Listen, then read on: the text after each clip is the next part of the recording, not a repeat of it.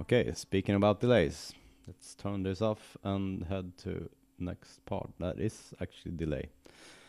And first, there's a digital delay.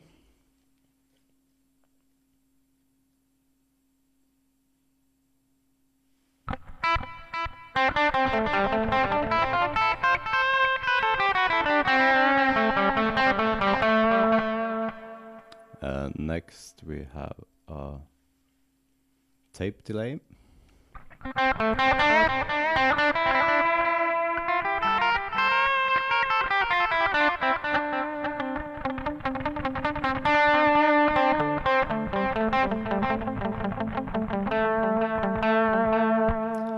And the longest you can run all these are uh, at five seconds delay. I think it is.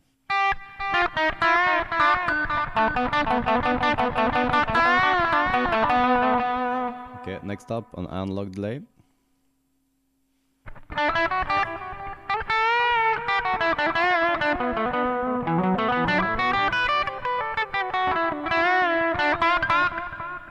Okay, the difference between all these, uh, the dig digital delay is supposed to retain the original uh, tone and signal from the guitar. Uh, and the other two are making slight variations when uh, the repeats come.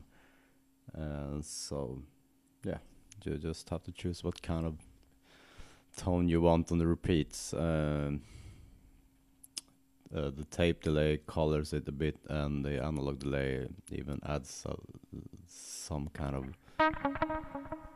slight chorus effect, actually. It's hardly hearable. Okay, next up is since we're in stereo, uh, it's the ping pong delay.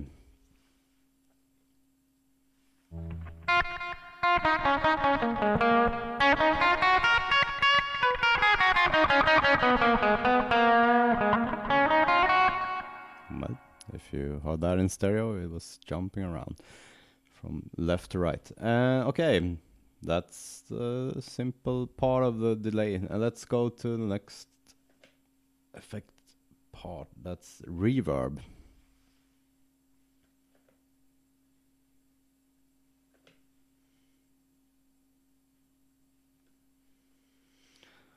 And I've been using it at this setting now. Let's try them all out from the beginning till end. First we have a hall reverb and here it's again the mix of the effect and next is decay basi basically the length of the, the reverb.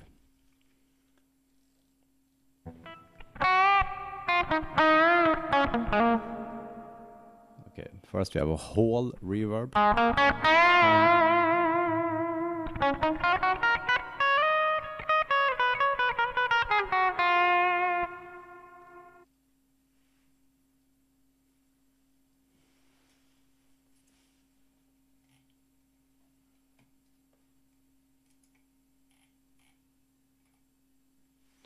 Next we have a room reverb.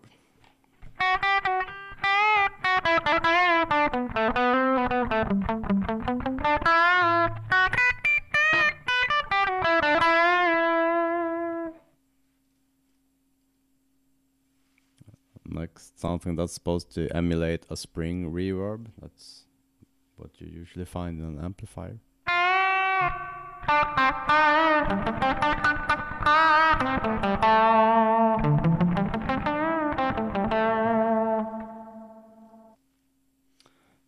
And last, uh, arena reverb.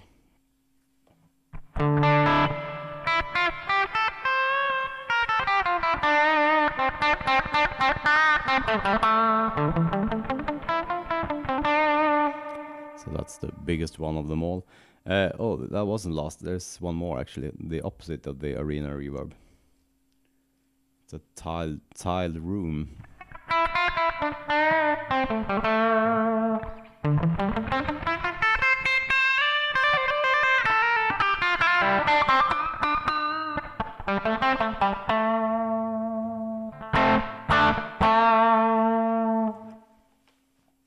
Okay, that's it. We've gone through every single part of this pedal.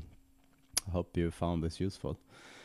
Uh, and as I said, uh, this is a really inexpensive one. Uh, it costs less than most single effect pedals actually. And if you buy this used, this is uh, an old version. It probably costs as much as a Happy Meal or something. I don't know. It's really cheap, I suppose.